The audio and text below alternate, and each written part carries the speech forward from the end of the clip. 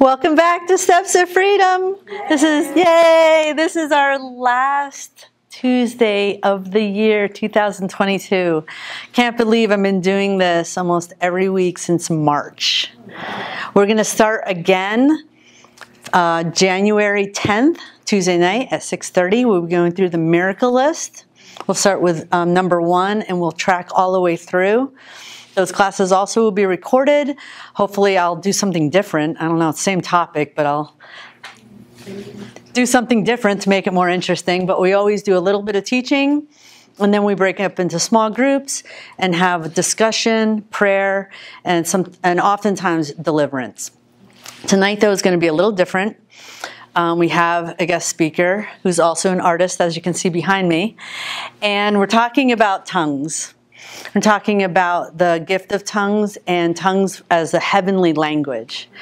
Um, I believe uh, tongues is on the miracle list. I forget what number, but it's on there, and it's very, very important that you develop your gift of tongues so that you can edify yourself. And if you're strong spiritually, then you can be strong for others. And the Spirit of God will flow through you um, more often, I have found. So I started speaking in tongues every single day uh, almost two and a half years ago. And it has been, it's made such a difference. It's made really all the difference in my deliverance process and healing. So I'm so encouraged by all of you coming out um, to be with us tonight. We're thinking, oh, if no one comes, it's okay. We're at least got the, the streamers online and they'll benefit. So without further ado, I won't give away what exactly we're going to talk about. You all got a handout. Um, I'd like to welcome my good friend Joe. He, um, I like to say, if someone is having trouble with their tongues, I always look for Joe. I say, okay, Joe, he, he teaches how to get your gift of tongues. He walks you through, he's very patient. And so I asked him, I wanted to do this topic about tongues.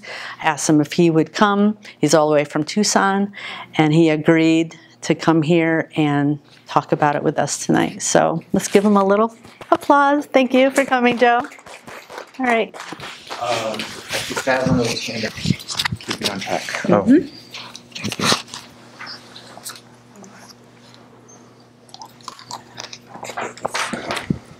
All right, thank you. Okay. All right. Um, I'm going to start off in prayer. Heavenly Father, um,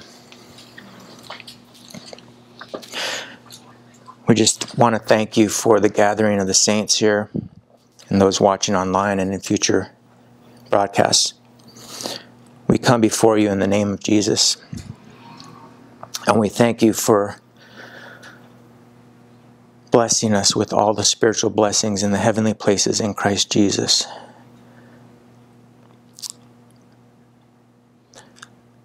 I pray, Heavenly Father, that you anoint our ears and our eyes that we may be all receptive to one another. I don't know exactly what you have planned for this evening, but I pray that I speak only what you want me to share and refrain from saying anything you don't want me to say. I pray that this message be useful and practical and not about just obtaining more knowledge, but that we may all receive something, including myself, that we may be more effective in your kingdom, expanding your kingdom.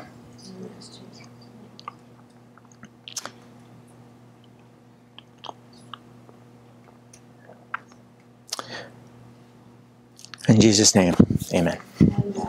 Okay, so uh, I only just um, prepared. I, I don't even know if, if, I had a month to prepare for this, if I could really prepare for it.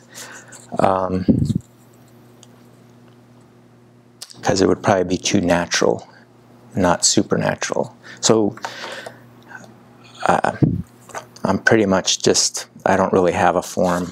Um, we just came up with this last night. So, um, so how much time did Julie take off already? All right. So, um,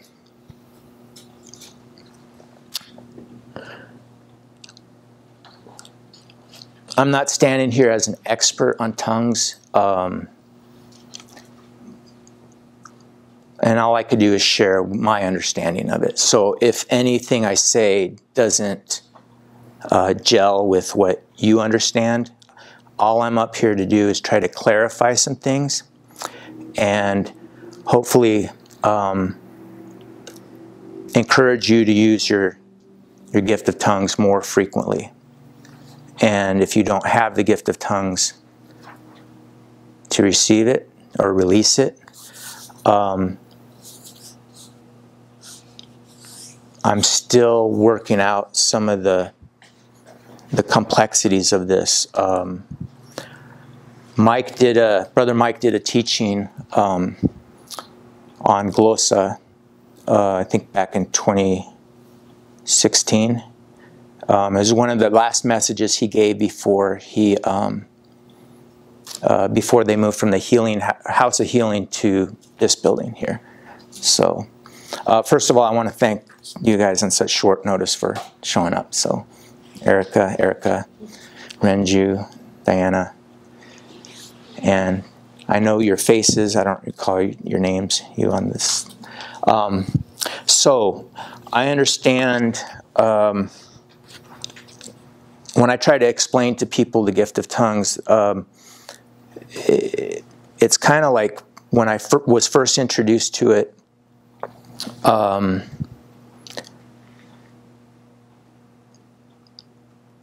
I didn't know anything about it. I, I, I got it when I first met Mike in uh, November 10th, like 2018. And so I, I just used it because he told me to because I was so desperate. I was like, I didn't know anything, hardly anything about self-deliverance or anything like that. So I just, I didn't really do self-deliverance. I just prayed in tongues. And in fact, um, we have this handout, which I'm sure you're all familiar with, um, Glossa, your, your supernatural prayer language. And when I was doing deliverance, I would, if I, if I felt like I wasn't I wanted to, everybody to leave with something, either uh, healing, deliverance, um, the miracle list, and if they didn't speak in tongues, I, I, wanted them to to go through this handout. And um, Mike encouraged me to use um, glossa when I read the Bible, use glossa to pray. Um, he didn't really give me a whole rigid formula on what to use, so I kind of just muddled through it. Um, at, eh, by the way, how many of you speak in tongues or pray, can pray in tongues? So you do. How many don't? Just to make sure. How many do not? You you don't. I'm learning. You're learning. I did today the first time. Oh, great, great, super. All right. So you speak in tongues? I'm learning. You're learning? Okay. So, um, so my understanding is when you when you read 1 Corinthians 14, it goes through diff the different varieties of tongues. It tries to break it down. And even when Mike went through it, how, how many of you have gone through his YouTube video on Glossa? Do you know that he has a YouTube video on Glossa? You have? Okay. So um, that helped me be more encouraged to use it. But I, even after listening to it, it's still kind of um, hard to take what he said there and relay it to others when I'm, I've only got maybe uh, 30 seconds to a couple minutes to explain it to people on, on deliverance, um, on the altar calls. So my understanding is that there are two categories of tongues, public and private. And public has the way I understand it, it has two forms. Um, one form, and by the way, probably half what I know is based on um, like stuff I've read or witnessed, learned about from others.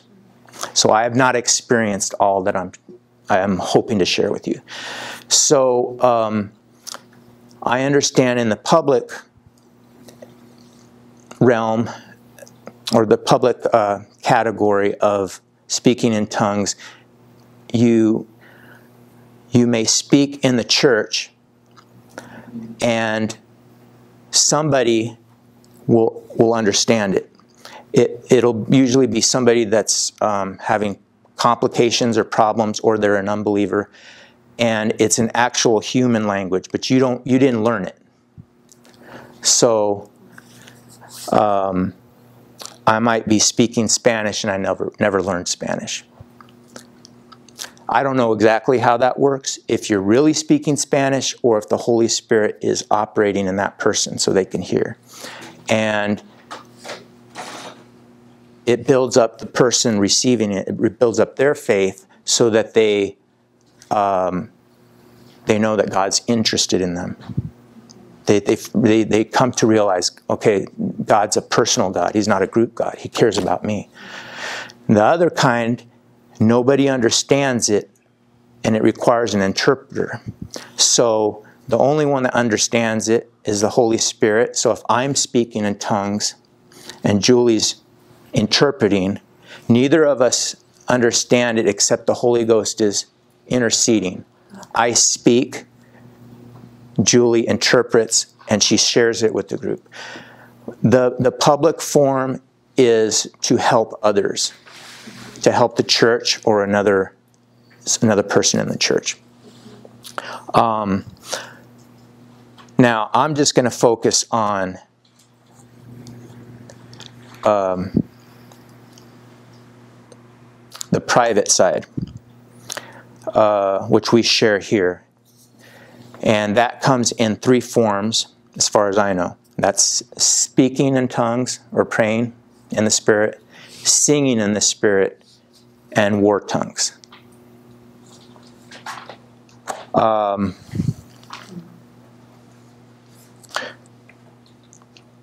okay, so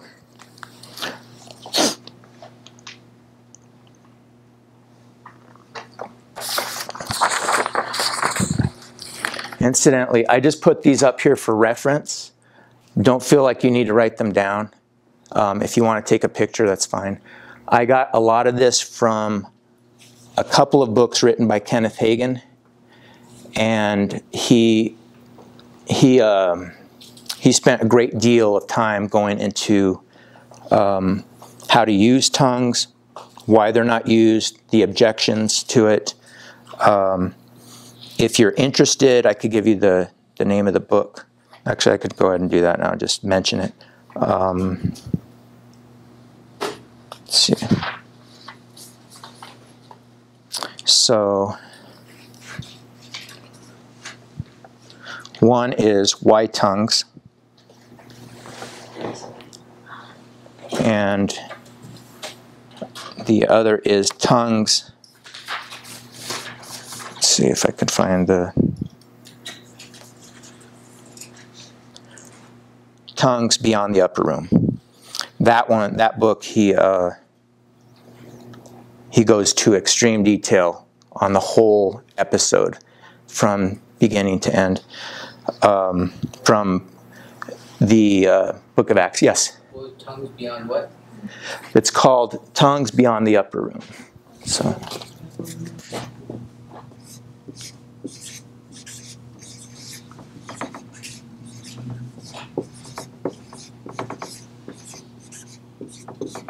Think it's tongues beyond the upper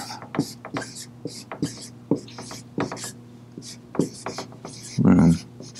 And I think you can get it on PDF for free. So just look for it and uh, that's, I don't know if I spelled his name right.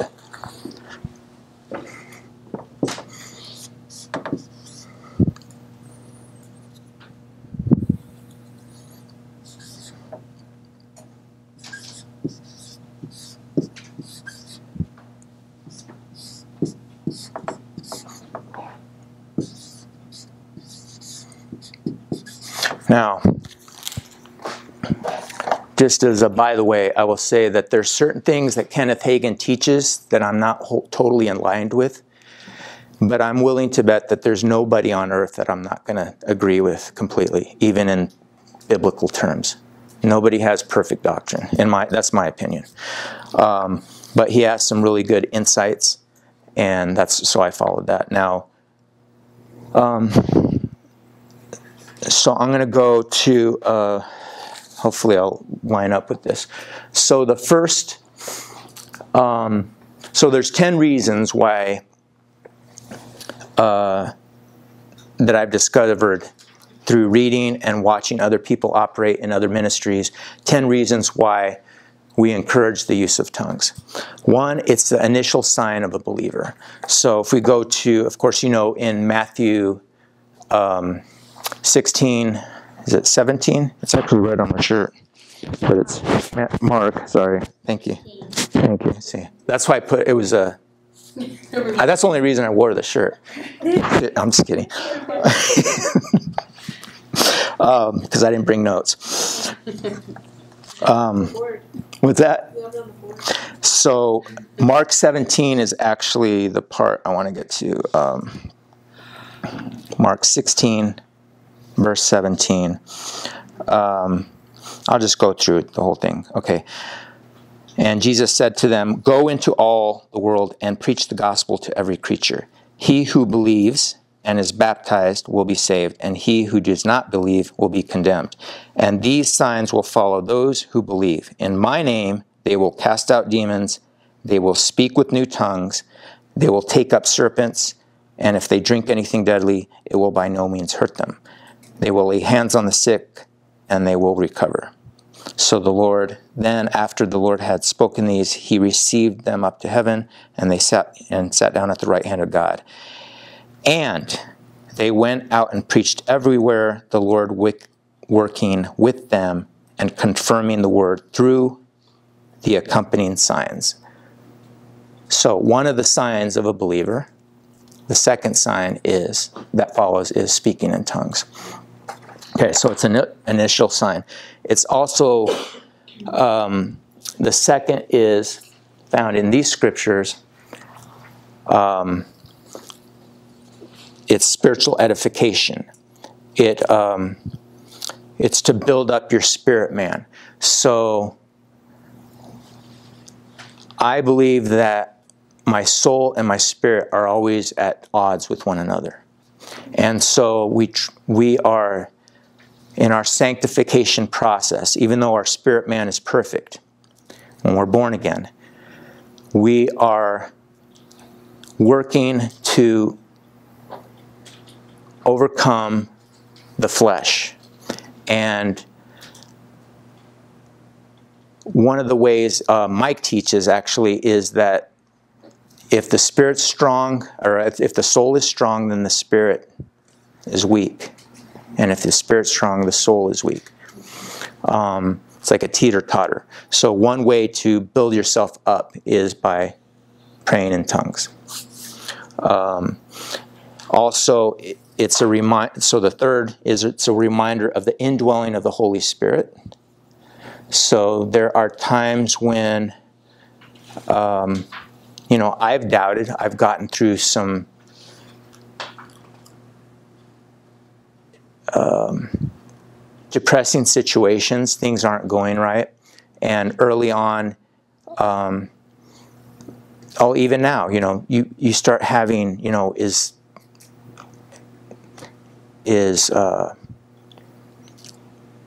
you know, can I really believe what I'm reading in the Bible? You just start having doubts. You, you start listening to the news too much and you start hearing things that contradict the Word of God, right? You're not capturing your thoughts. So um, you think, man, am I even saved? Was I ever saved? So that may not be your situation, but if you're ministering to others, that's when you have to encourage them. I would recommend you encourage them to start singing or, or praying in tongues. It's a reminder that the Holy Spirit is, is there. So the fourth is it's in line with God's perfect will. So um, I made this this whole silly uh, picture is just these pictures are just to kind of give you an idea. So one, speaking in tongues is the first sign. Um, two, um, what did I say two was? Spiritual edification. So it builds up your spirit man.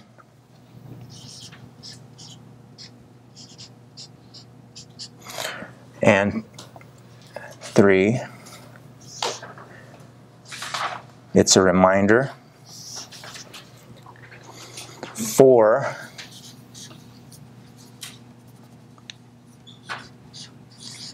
when you pray in the Spirit, I think, I think we'll find scripture that supports this.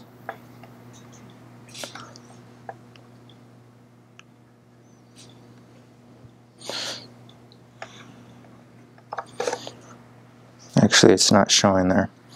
Um, better scripture, I think, is 1 Corinthians 14. All right.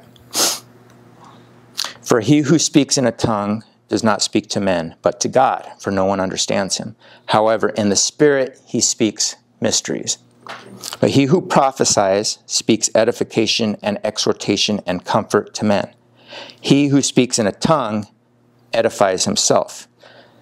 But he who prophesies edifies the church. So, apologize. I probably should go through all of these really quick and then go to scriptures. So, four, it's perfect alignment with God. Um, this is just for visual purposes. We know that God dwells in us, right? And the Holy Spirit is everywhere, right? So it's just for um, just a memory technique. All right. Five is it stimulates your faith. Six, it's it establishes a hedge of protection when you're in situations when you're out in the world. You're hearing, you go into Target, they're playing mm-hmm. music you don't want to listen to. You could just whisper. Seven is it has been known for people, I've read quite a few um, stories throughout this past century where people have prayed not knowing why they're praying in tongues, but they feel compelled to get on their knees and start praying for someone. And sometimes they can see who they're praying for, they have a vision. Seven, the seventh reason is praying for the unknown. So you could be praying for somebody that's on another continent. You could pray for somebody that you you just briefly met.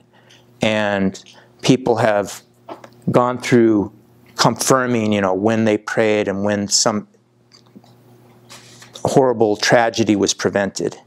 Like it's you know it's a miracle. Somebody must have been praying for them. And um, so nine, it's the way it's a it's the way to give thanks to God. And sorry, nine and ten. It's uh, it's a way of subjecting the tongue. So let me just see if I can't organize my notes here. Tablets.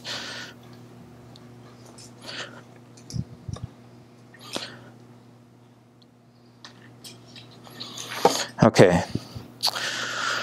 All right. Mark 16, 17. And these signs shall follow those who believe in my name. They will cast out demons. They will speak with new tongues. That's the first sign. Uh, 1 Corinthians 14, 18. I thank my God, I speak with tongues more than you all. So it's evident that Paul put a lot of um, emphasis on speaking in tongues. Let's see, where are we at? Acts 2 4 and 1046. All right, Acts 2 4. And they were filled with the Holy Spirit and began to speak with tongues, with other tongues, as the Spirit gave them utterance. Um, Acts 10 46. For they heard them speak with tongues and magnify God.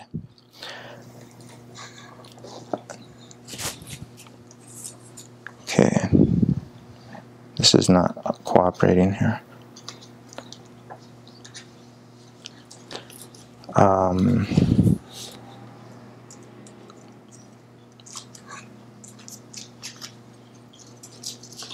okay. 1 Corinthians 14 14.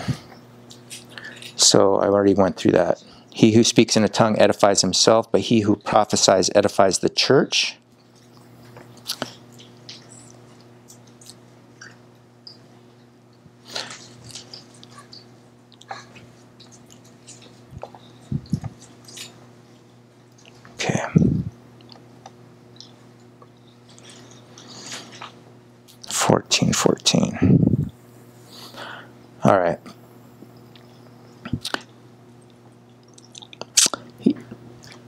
1 Corinthians 14 12.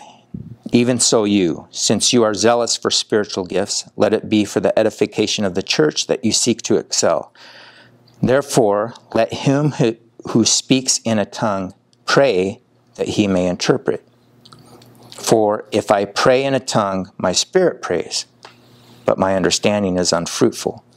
What is the conclusion then? I will pray with the spirit, and I will also pray with the understanding. I will sing with the spirit, and I will also sing with the understanding. Um,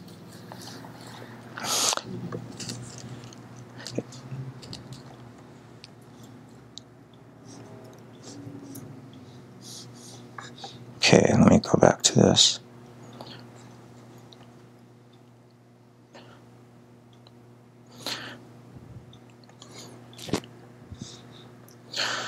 So in um, we at First John?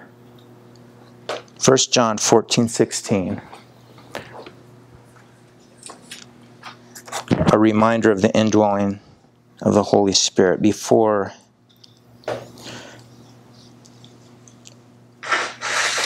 Jesus says, um, verse 14, if you ask anything in my name, I will do it. If you love me, keep my commandments. And I will pray the Father, and he will give you another helper, that he may abide with you forever. The Spirit of truth, whom the world cannot receive, because it neither sees him nor knows him. But you know him, for he dwells with you and will be with you. So, I'm not sure if I, should dwell in this area, but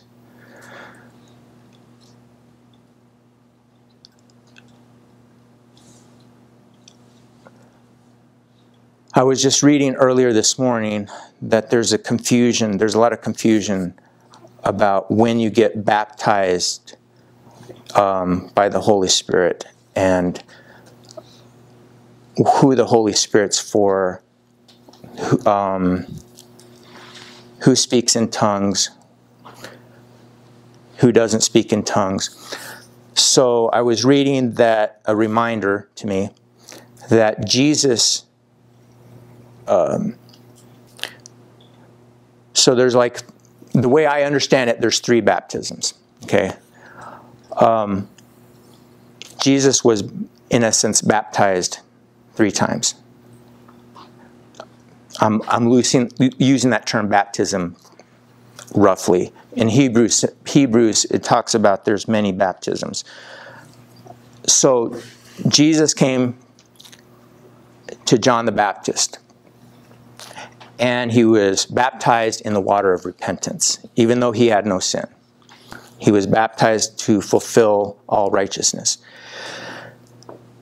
At that moment, he also was baptized with the Holy Spirit. He received the Holy Spirit. All right.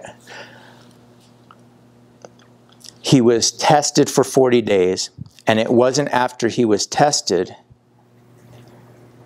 and overcame the devil, that he was baptized with power. So there's baptism of um, the baptism of repentance, the baptism of the Holy Spirit, and the baptism of power. So I think that um, that kind of follows along the lines with the with the apostles. They spent many years with Jesus, so they were being washed, but they they learned who Jesus was. It took them a while to realize, okay, he's not just a prophet, he's God. And so they got a, newborn experience. It doesn't really talk about the apostles water being water baptized. I don't know, maybe they were baptized when they were following John the Baptist before Jesus came along. But they I believe they were they were already baptized with the water of repentance. It is in uh, I'm going off stray from this because I feel there's I feel kind of flat just going through these scriptures like this. Um, I trying to find if it's in um,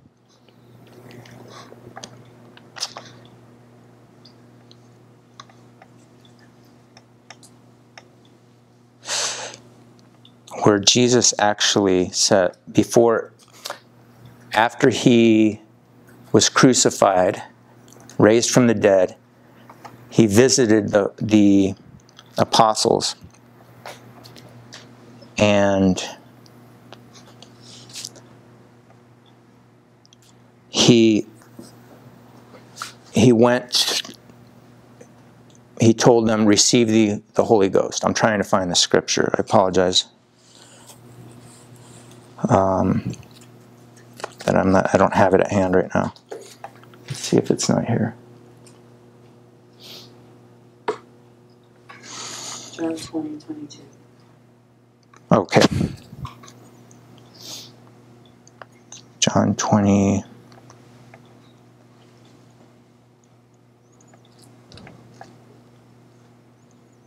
Okay, thank you.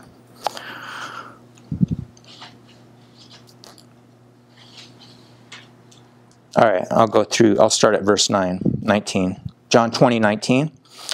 Then the same day at evening, being the first day of the week, when the doors were shut, where the disciples were assembled for fear of the Jews, Jesus came and stood in the midst and said to them, Peace be with you.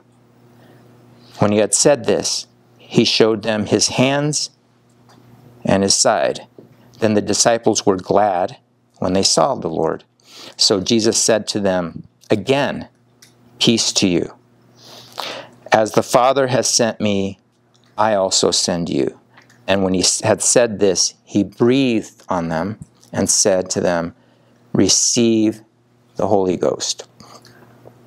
Now, I was listening to Derek Prince, who's an expert at Greek studies and the translation of, of Greek words. And he was explaining that in the original Greek, the word that's used for breathing is like you would breathe into a flute. So, or like in an instrument, musical instrument. So I'm, I'm seeing that Jesus, if these were instruments, he's not breathing in all of them at once. I've heard, he, that's not the first time I've heard this, where he actually went to each one of the apostles, receive ye the Holy Ghost, receive ye the Holy Ghost. So It's interesting. it's not until um, It comes out. the book, yeah, yeah, I didn't think of it that way, but um, it's not until um, the book of Acts where Jesus um, s- commands them to wait for me until you receive power. So let me go to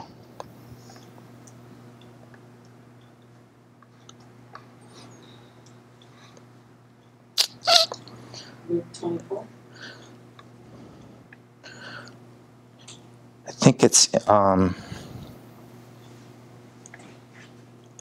I think it's in the book of Acts. Act 1, 1, 8. One four and one eight. Okay. All right, and being let's see, is this it? And okay, Acts one four, and being assembled together with them, Jesus commanded them not to depart from Jerusalem, but to wait for the promise of the Father, which he had said, You have heard from me. For John truly baptized with water, but you shall be baptized with the Holy Spirit not many days from now. Therefore, when they had come together, they asked him, saying, Lord, will you at this time restore the kingdom to Israel? And Jesus said, It is not for you to know times or seasons which the Father has put in his own authority, but you shall receive power. Now, since I've been studying uh, under Mike, I have a tendency to look up every time I see power because so many times it means authority, and sometimes it means power.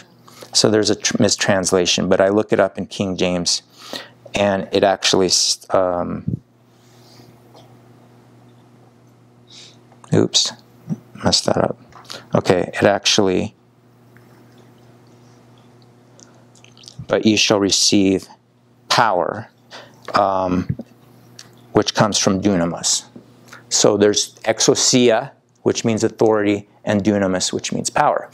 So we have, with regard to casting out demons, we have authority. But with regard to the gifts of the Spirit, we operate in power.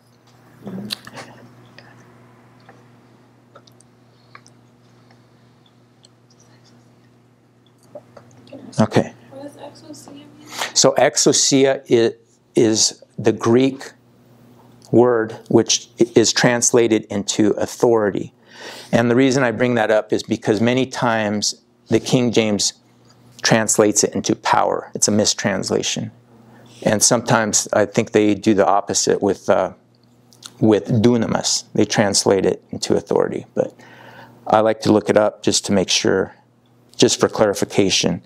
Um, okay.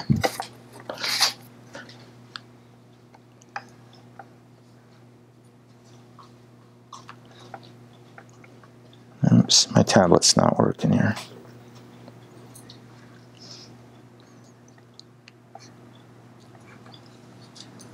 Okay, I'm going to pause right here for a second. Do you guys do you have anything that you want me to address more? Would you like me to go into the scriptures or would you like to go more into Any questions? yeah, like any questions that might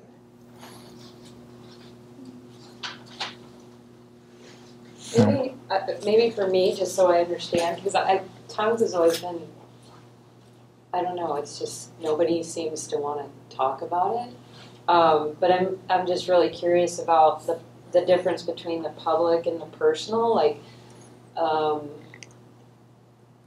what would be, are there examples scripturally where it was public and then, are there any examples personal? I mean, I know that there are some public examples, are there personal examples in scripture? So the Mike spent a whole a whole um, teaching on it, and I'm not sure why he didn't do it again. But I know that he was re- reluctant to do the first one.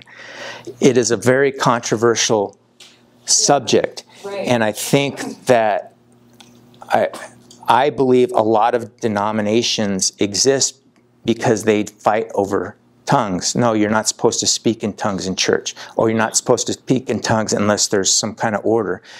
Um, there's, it's only for for self. It's only for the first signs. You show it, and that's it. You never use it again. Some think say um, not everybody has it. And So that's we- how I was. brought- That's how I was taught. Right. So it's Okay, so yeah, I guess I didn't clarify that well.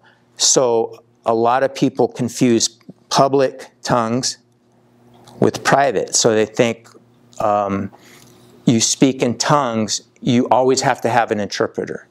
oh, okay. But that's public, that's for public. Private tongues is when you're by yourself. You. Now you could be in a group and do it. And if I go into um, do my best to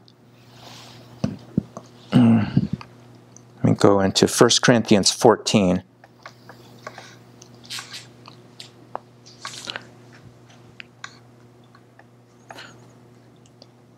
Actually, I'm going to go into 1 Corinthians 12, where it first addresses it. Um,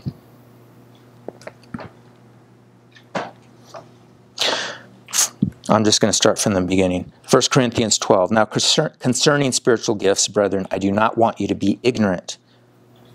You know that you were Gentiles carried away with these dumb idols. Let me go, I'm going to use uh, KJ3 actually, because it actually. You know that, that when you were nations, how you were led being carried away to voiceless idols. Because of this, I make known to you that no one speaking by the Spirit of God says Jesus is a curse, and no one is able to say Jesus is Lord if not by the Holy Spirit. And there are varieties of gifts, but the same Spirit. And there are varieties of ministries, yet the same Lord. And there are varieties of workings, but the same is but the same is God, the one working all things in all. And to each one is given the showing forth of the Spirit to the profiting of each one.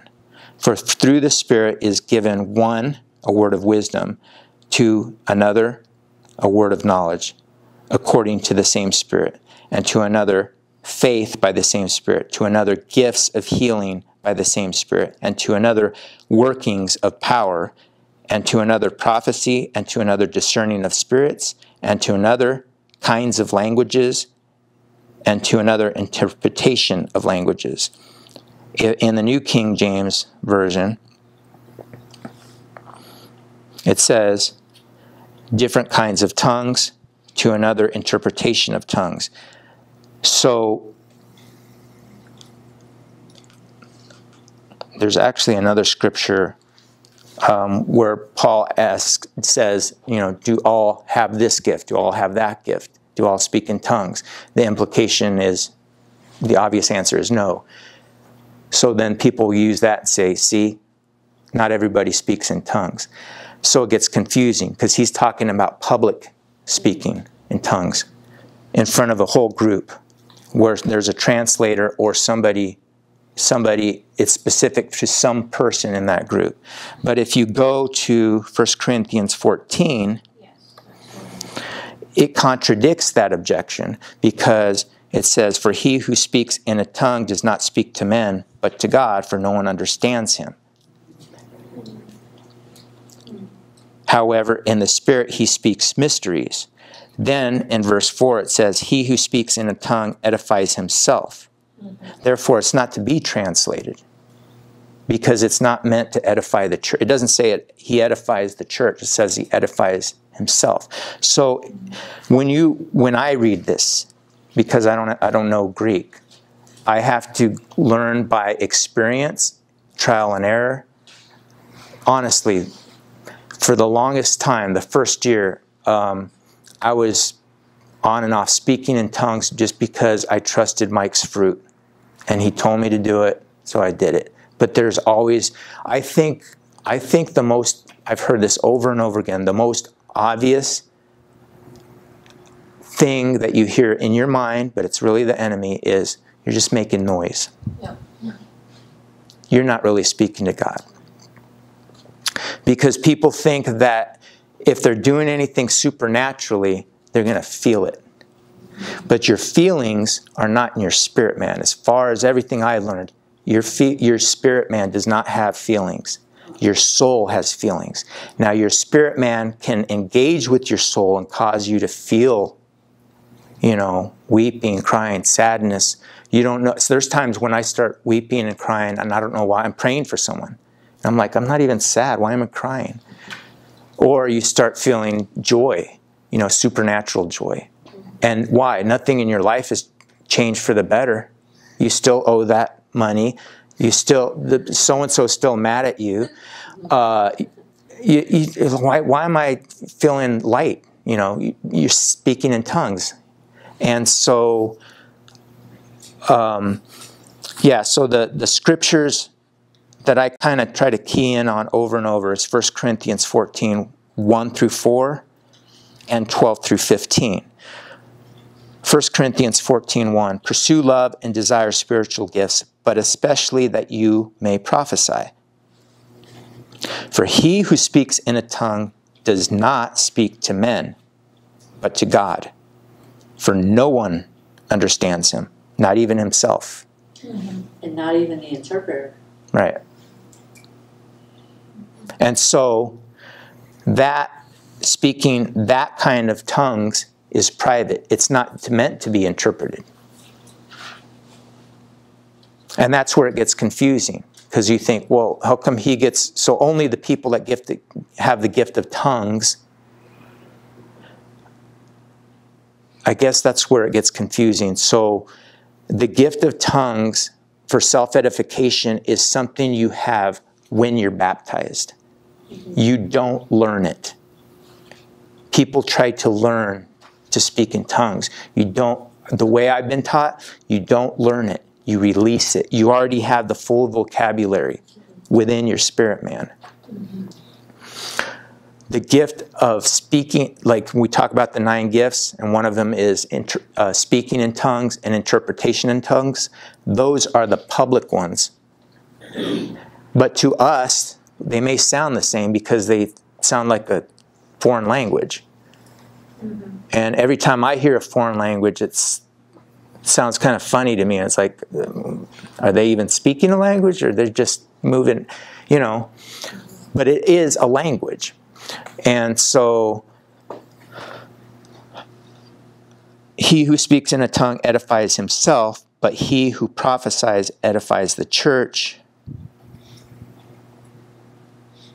Even so, you, verse 12, since you are zealous for spiritual gifts, let it be for the edification of the church that you seek to excel. Therefore, let him who speaks in a tongue pray that he may interpret. So you can speak tongues and pray to God that you can interpret your own tongues for yourself. Um, when I'm praying in a tongue, I might be thinking of somebody I'm praying for, might be even myself, and I know that it's it's the perfect prayer. It may not be praying exactly what I want. Um, I might be praying, Lord, I uh, I don't know how I'm going to pay this bill, and I'm praying in tongues. And then maybe the for all I know, the Holy Spirit's saying, Lord, give him the grace to just accept he's going to be taken care of. He's not going to get that money. The bill's going to go away or something, right? I don't know what I'm praying. I just know it's perfect. Which which kind of brings us to faith. You have to have faith to speak in, in tongues because your soul's always receiving what the enemy's saying, and you're like thinking, what is this a waste of time? I could have been reading the Bible for an hour instead of praying in tongues for an hour. I could have been making money to pay that bill. I could have, you know. So you're you're. It takes faith to speak in tongues. Um, so how much time do we have? Are we out? Well, Oh, it's seven thirty. it'd be thirty. good for you to um, finish up the ten reasons and then Okay. So, well, I went through the ten, oh, you did all. but I don't know if it's actually. I went. This eight is for recharging. Um, there's times when um, when I personally have felt physically tired, physically exhausted, mentally exhausted, emotionally exhausted, and I'll pray in tongues. Um, hoping God, you know, praying that this, whatever my problem is, I, I'll find a solution. You know, I'm, that's my way of praying with the understanding. I'm, I'm thinking about what I'm, what I want the Lord to do, and I might go, I might pray, and then I might go into singing, and I'll actually start feeling lighter, and I'll start feeling like I, like I just got refreshed, like I just got sleep somehow. Um, it doesn't always happen, but I have experienced that, and there's no I can't come up with an explanation why, other than it's supernatural refreshing. It's a way to recharge. Um, Person- Yes. I'm gonna say personally, I, I don't know if anybody experiences this, but when I'm praying in tongues, sometimes I experience deliverance. I I didn't. Just Yeah. from nowhere, and Yeah, I'll be like, "What's going on? Do other people go through this?" I yeah, think my spirit man overtakes, and like you said, you feel something break Yeah. off. And, I don't know, experience early on. burping while I'm praying in tongues. I'm glad you brought that up. I wasn't going to bring that up, but I will confess that uh, my first year, um, uh, since I met Mike, I would I would pray. I didn't know about you know how to cast out specific names or symptoms, and I would do what I could, but then I'd pray in tongues, and after a few minutes, it wouldn't, you know, I would never time it. I would just, I wouldn't even know why it's happening. I'd start coughing, or I'd start like, uh, like dry heaves and stuff, and um, and I would say, you know, yeah, I would ask about it, and I, I would tell people, I think I'm getting delivered while I'm doing tongues, but I'm not calling the spirits out, and so, yeah, that's so you're not alone in that. um, I don't have scripture to back it up. It just happens. yeah, so um, it actually in 1 Corinthians 14 21, it actually references uh,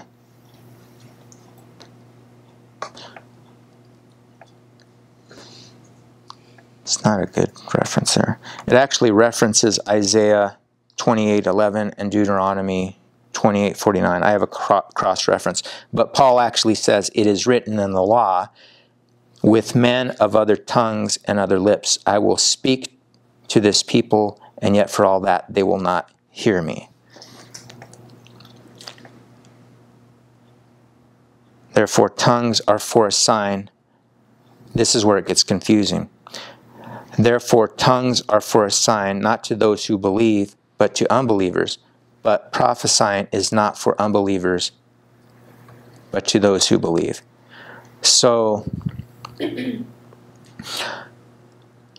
for the longest time, I just spoke in tongues not because I had solid scriptural evidence that I could debate somebody else with, you know, and, and just say, well, no, it is legitimate. I was doing it because I trusted Mike's fruit and I trusted others that used it. I, I heard it's basically ex- experience. experience.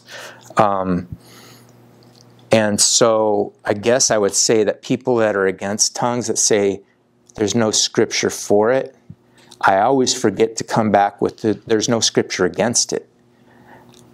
People people like say there's no there's no there's no scripture that we should do this. Well, there's no scripture we shouldn't. There's the the whole Bible is like Mike says, it's like the tip of an iceberg.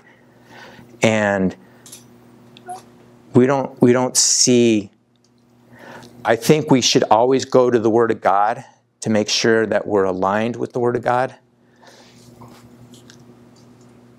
But um, I mean, if you if you need to overcome that, I mean, there's plenty of scriptures. When I read it, it really explained a lot. When I I got all these scriptures from um, that book and uh, actually mostly this book here. Um,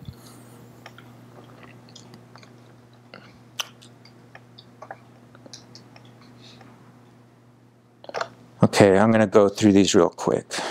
Try to. Okay. Um, John 14, 16, 17. And I will pray the Father, and he will give you another helper. Um, Romans 8, 26, 27. Likewise, the Spirit also helps in our weaknesses, for we do not know what we should pray for as we ought. But the Spirit himself makes intercessions for us with groanings which cannot be uttered. Now, he who searches the hearts knows what the mind of the Spirit is because he makes intercessions for the saints according to the will of God. So that's four. So it's the perfect will of God. You don't know, I don't know exactly what I'm praying, but I know that when I pray, it always gets answered. Jude uh, 120, but you, beloved, build yourself up on your most holy faith, praying in the Holy Spirit. So when it's the Bible says praying in the Spirit, praying in the Holy Spirit, it means praying in tongues. So Jude 5, um, actually, that was, yeah, building up your faith. So, um, I'm, I'm just going to move on. So 1 Corinthians 14, 27, 28. If anyone speaks in a tongue, let there be two or at the most three, each in turn, and let one interpret. But if there is no interpreter, let him keep silent in the church. Let him speak to himself and to God. So right there, it talks about, he's not saying don't, don't speak in tongues. He's just saying don't do it in the church because you need an interpreter. Is that clear? Is that kind of muddled? No, I get it. Does that, okay. Ephesians 6:18 praying always with all prayer and supplication in the spirit being watchful to this end with all perseverance and supplication for the saints. So actually I think this is the one I added myself because when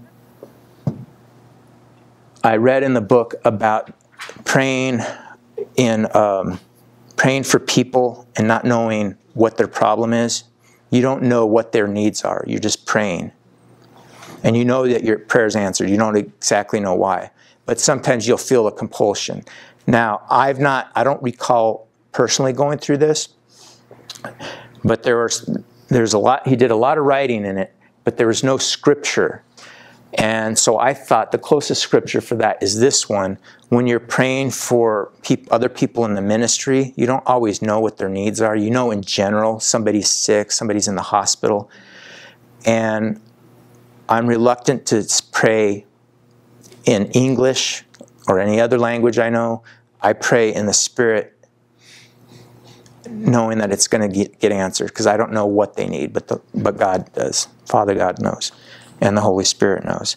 Um, Isaiah 28 11, 12. For with stammering lips and other tongues he will speak to this people, to whom he said, This is the rest with which you will cause the, rear, the weary to rest. This is the refreshing. Yet they would not hear. They would not hear. So it's refreshing to those that use it. That would be, is that this one? Are we on eight now? Yeah. So it's refreshing. Um,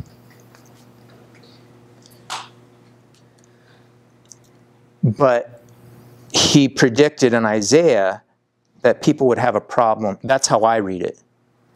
Yet they would not hear. They would not It's like they're going to have a problem with tongues. People are going to be against it, even though I'm giving this gift to them. Um, okay, I already went through 1 Corinthians 14. What is the conclusion then? James. All right, so the other, the other um, reason to use tongues is it controls the tongue. James says, um, it's not popping up.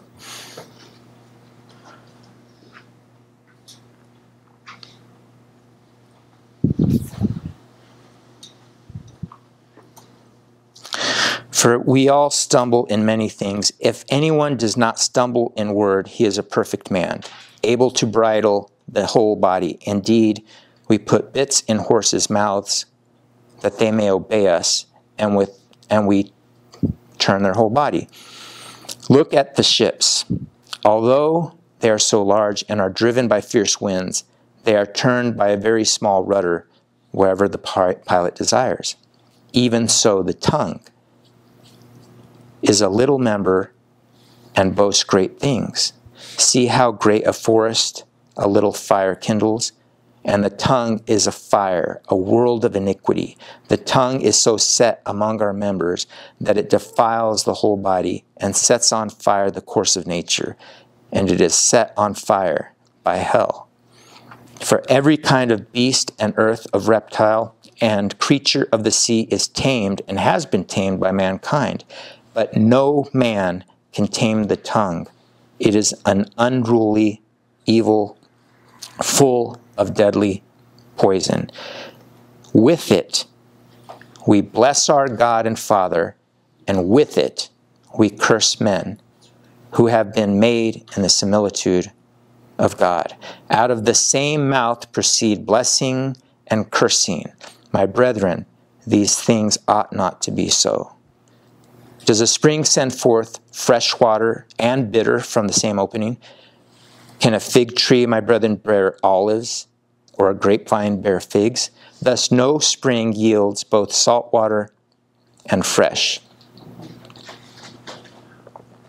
So, that's the tenth reason. It's a way of subjecting the tongue. Okay.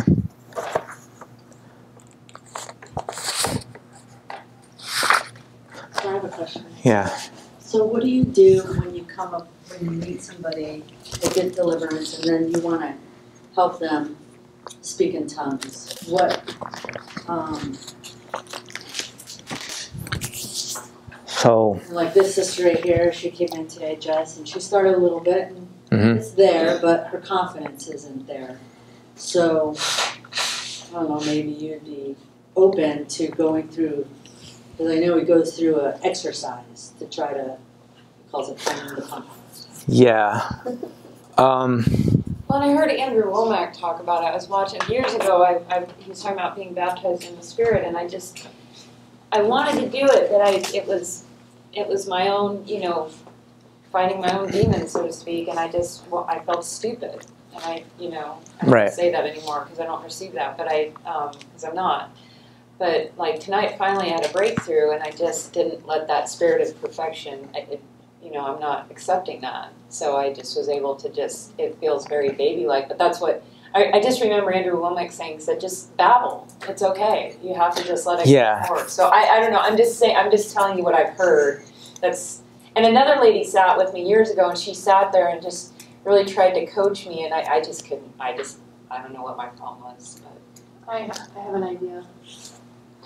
Um, so I had I had the same problem, and brother Mike had me up at the front and was like, "You need to, you know, praise God," and you know, he's walking me through trying to get me get me to speak in tongues, and not too much time passed, and he looked at me and he was like, "You know, people that are highly intelligent and people that have low intelligence both."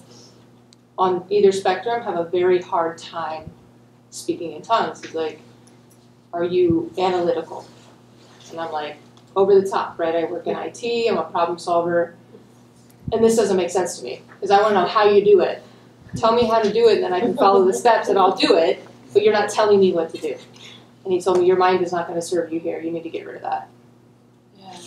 So that's the first place to start is whatever you think, you know, you're going to have to throw that out and then you're just going to have to use what he said mm-hmm. faith. Hey, and you just keep going. I had to really practice. It took like more than a month and one day i just was upset at myself right being that kind of like perfectionist and i said i'm done with this. I'm going in my room. I'm shutting the door and i'm not coming out until i get my gift of tongues. And it only took about 15 minutes but i had to give up. Mm. I had to like use my voice and then not care what it sounded like and go. And when it started flowing, I recognized that it wasn't me, that it was supernatural. yeah. Yeah. That's what I was wondering, for the YouTubers, do you think you could walk us through the steps that you do? okay, so I don't really, I know it's hard to believe, Julie, but Pretend we never spoke in tongues before and teach us. I, I don't really I, I pe- people think I have like this methodical way of doing it, but I don't. It's like it's spontaneous and it's it's tailored to the person. And I try different things. I guess I could go with what I've tried with different people, Yeah. but um, I don't- someone would be willing to be. I don't know where it comes from. So, um, does somebody? All pretend to you don't like follow. All right. Let who who has who has like broken tongues? Well, listen, guys. Okay. Would you? What's? I don't know that. I don't know. Would you, would you would you mind coming up? Okay. All right. I, I'm pretty new with you tongues too. All right. Yeah. Yeah, this will be good. All right. Go ahead. Elohim, Ahuda, Elohim. Okay. So what I hear is you're you're slurring, almost like um, like your your your tongue's too thick, like you just came from the dentist, right? So it doesn't matter. It's just I'm just that's how I know that it doesn't sound quite like a language. And what I usually found from Mike is it could be because you still have fear, you still have um, unforgiveness, either towards yourself or to towards someone else. Um, however, you can use your tongues to help you develop that forgiveness, to get over that fear, and over time, your tongues will, as a const, it's like a recursive uh, formula. While you use your tongues, you'll get rid of whatever's blocking it, and then your tongues will get unblocked, and then it'll it just keeps they they feed each other, right? Because you're overcoming it by your own faith. So what I say is repeat after me. Rosta, Rosta, denesto. Denesto. Now, did you see how you enunciated clearly, like it's a language? Mm-hmm. Okay. Now, I'm going to say the word. I want you to draw it out. I think we've done this exercise before. So when I say resto, I want you to say resto. Okay. Resto. Denesto. Denesto. Slow. Or Denesto. Slower. Nesto. Good. Okay. Now I'm going to say it slow. I want you to fa- say it fast. Anestero. Anestero. Coristi. Cordisti. Okay. Now, I want you to start speaking, and I'm going to throw in a word, and you repeat it, and then you keep speaking. All right. I want you to start off with some that are clear. So go ahead and say say one. Keep even if you repeat it. I don't even care if you repeat it. Oh, Ahoden, Ahoden, Ahoden, Jehud, Slow it down.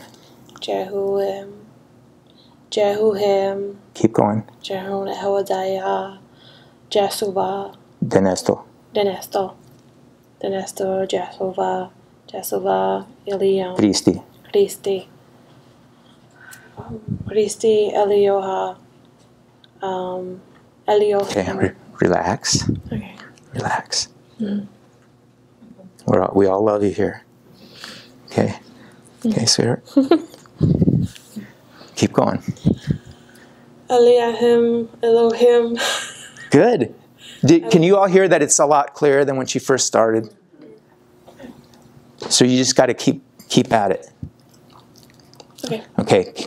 Now let's try something else because sometimes this will break it up. Start singing. Close your eyes. Aduim, Jelohim, Jelohim, Elohim, Jesuva, Elohim, Elioia. Good. Okay. Would you care to come up? You're probably going to break through it because. Your mind right here. There. Okay. Okay. Cl- Relax. All right. Lord Jesus. Lord Jesus. No, just relax. I'm just praying for both of us. Good. All right. Lord Jesus. What's your name? I'm Jess. Jess. Heavenly Father, I'm here with your beloved daughter, Jess. And I perceive that she is too eager to try to please you because she has this misconception that you're not already pleased with her.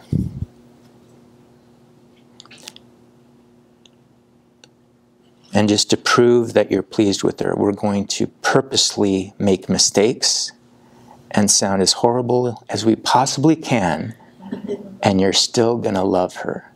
Amen. Okay, go ahead. Say something impossibly, inconceivably impossible to understand. See, that's where I struggle. Okay. Okay, then struggle. I just feel pressure right now. Okay, repeat after me. Okay. Dishti. Dishti. I see, I didn't even say that. and You already said a different language. you already have your okay. So you already you already sounded good when I asked you to not sound good. It's a perfectionist in me. I Okay. No, that was the Holy Ghost. I'm pretty sure. Okay, good. Okay. Good. All right. Praise God. Okay. Relax. Okay. Okay. Put your hands right here. Okay. Just relax. Okay. Repeat after me. Desto. Desto. Okay, I'm, I'm going to whisper. I want you to say it loud. Desto. Desto. I- close your eyes. Ishti. Ishti. Prestiri. Prestiti. Now pick one of those and repeat it. Desto. Hiri. Iri. Keep going.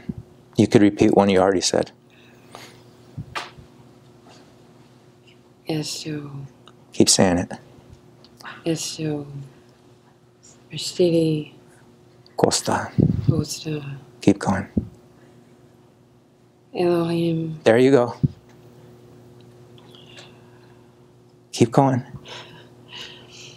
Don't try to perfect it. Try to mess it up. I dare you. I defy you to. Uh, Rava.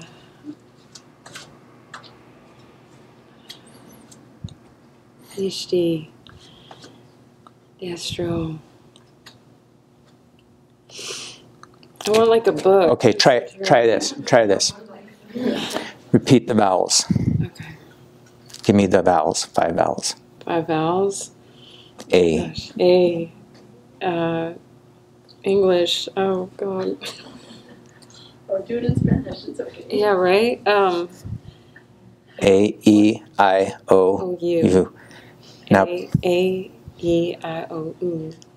good. Okay. Now, add a consonant. Just pick anyone. What is a consonant? You gotta remind me. Okay, B. A B? Oh, okay. Now, this is really going to be embarrassing, Okay. but go ahead and do it. Add B to each vowel. Just okay. Ab. I gotta think about ab eb. Oob. Okay, that's perfect because that's not what I wanted you to do, but Okay. you but you did something even better. Good. Uh, Just keep doing it. Yeah. Oh. Yeah. I gotta think what the vowels are. Okay. No- all right. That was just the, the reason I do that is to throw off the spirits. Don't ask me why. I've done this and it and it works with some people. Okay. Okay. All right. Let's close your eyes. Okay. Start speaking. I'll throw in some that you can hear. Tishti, Vishti. Ero, Ero. Koshta. Oshna. Keep going. Elohim. Rava. Testo. Evo. Destro. Eleuna. Seona. Good. Okay, let's try something I've never tried before. Come here for a second. Um, I want five of you to come up here and spread around. What was your name again, Jess? Uh-huh. Okay. And just just start speaking. Okay. Five, that's one. Okay. Close your eyes. And just pick out a word from each of them. Okay. All right. Okay. So you're gonna have to close your eyes to focus. Okay. All right. Everybody start speaking. Ora destendradash. Okay, go ahead. Good.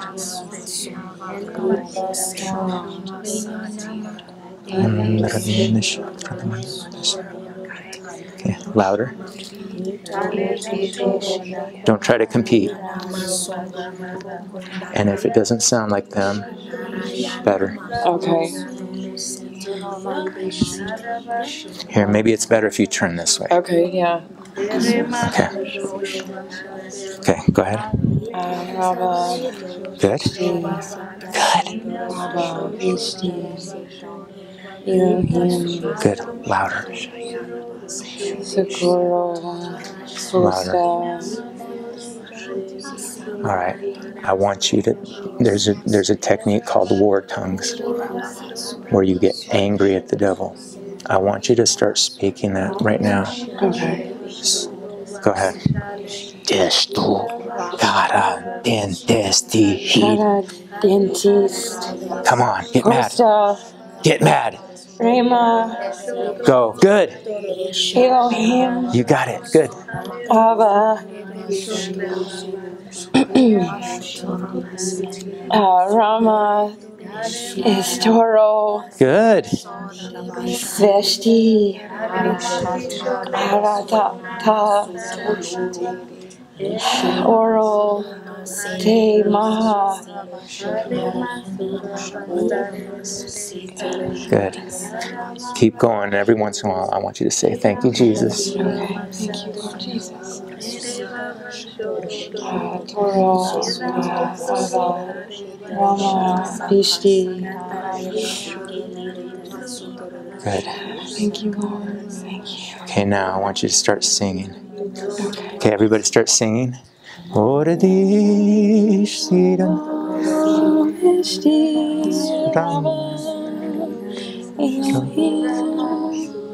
Good.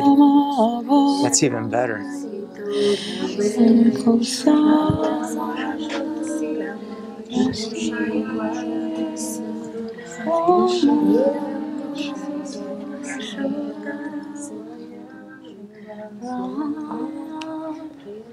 Louder. Elohim, Rama, Torah. Thank you, Lord Jesus. Good. Vishti, You're doing excellent. Elohim.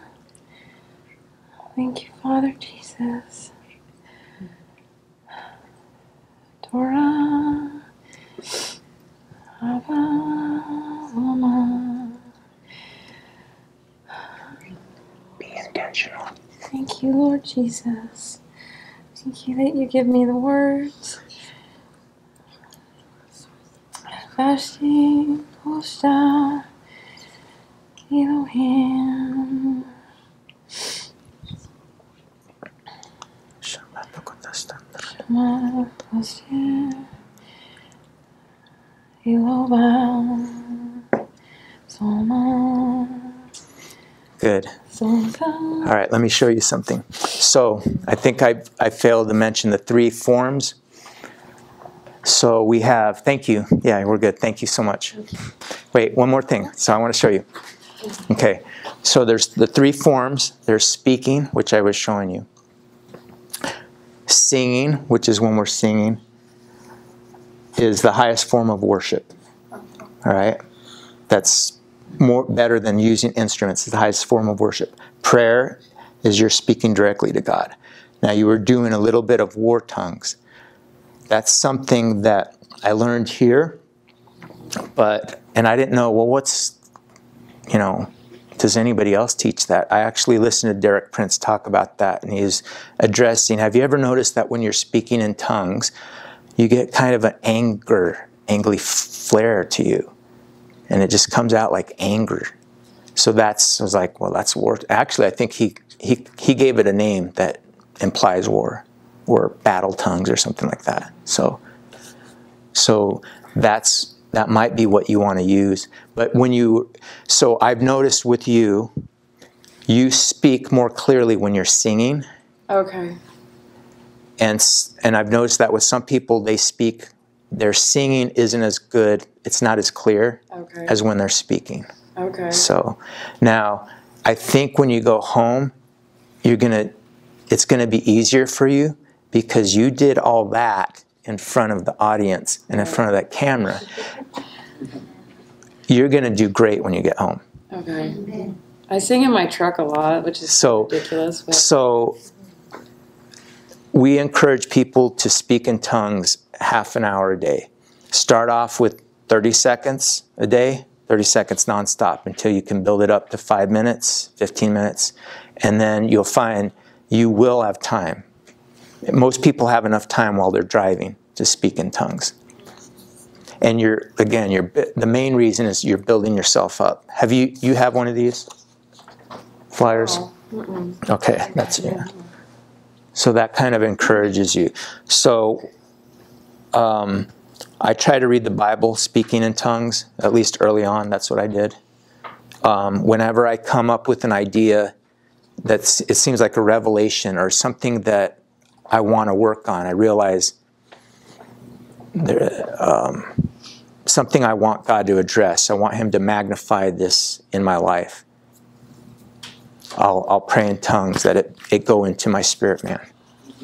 See, so anyway, yes, I was gonna say, when I, um, I got my tongues by bedside, just asking the Lord and receiving it. But one of the two things that I struggled with, number one is that I was making it up. Number two was that it doesn't work. hmm, So later on in life, when I hit a hard spot, I started to reactivate it. Those are the two lies the enemy comes at with it. The only way you would know it works is if you use it. Okay. So that is an activation of your faith. The more you practice it and, and speak it, then you rea- you you will see it works. And So the enemy was telling Satan was telling you that you were making it up. That Correct. Yeah. He, he, he stops you by saying you're making it up, number one. And number two, it doesn't work.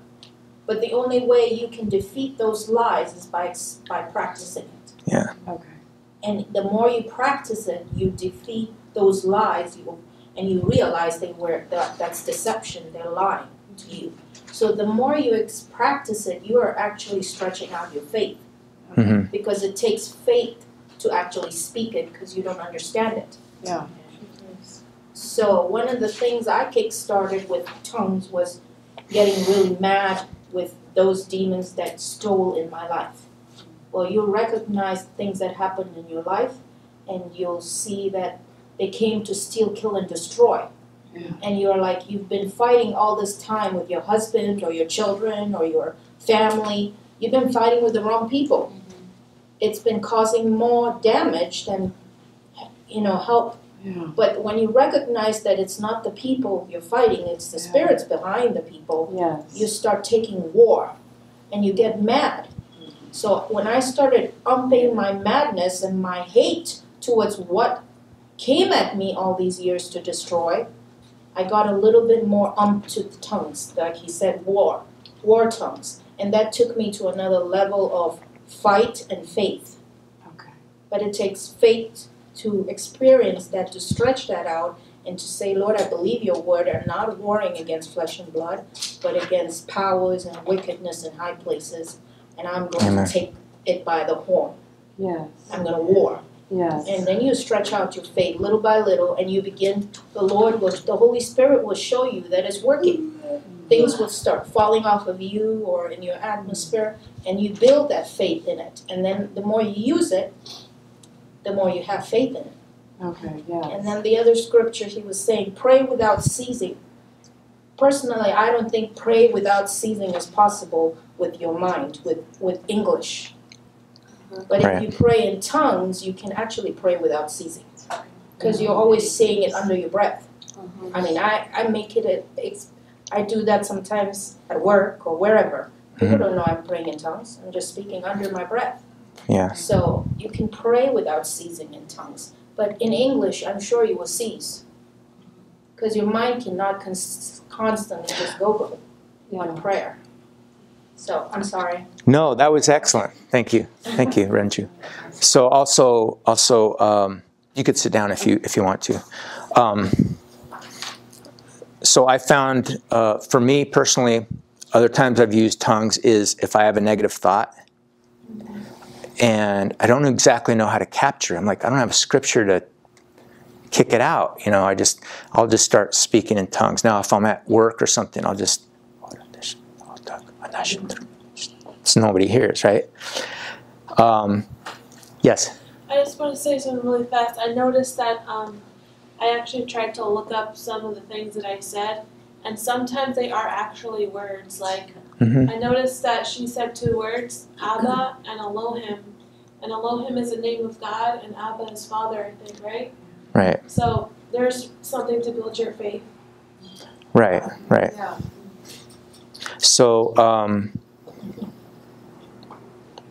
yeah, I've heard that before. I, I've said I've said words, and uh, um, one of my prayer partners would look that word up, and it's a word I've never heard of. It's like an Indian word Yeah. that, and so it's like okay.